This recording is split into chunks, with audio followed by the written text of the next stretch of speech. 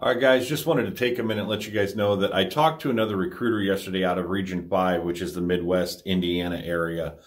And she told me that there are some places that are urgently looking for drivers.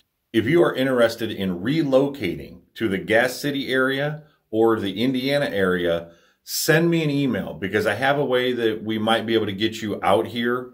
Uh, you can get out here, get relocated, get on board uh, with with some help, and then after one year, transfer to wherever you want to go. But the locations that are looking for help here in the Midwest are Garrett, Auburn, which is up by north of Fort Wayne, uh, Gas City, which is where I'm from, Indianapolis, Greencastle, which is over by Illinois near uh, just south of Lafayette, and Seymour, which is down on the southern end of Indiana, which a lot of guys leave there and transfer to other locations like Hopkinsville, uh, Tennessee, and, and all that kind of stuff. So if you are looking to get in at Walmart and you are interested in going to any of those locations, send me an email and I will get you put on the track to talk to the recruiters to see about getting you in so that you can start your career with Walmart at these locations, maybe get a little bit of assistance with uh, your relocation expenses and things like that.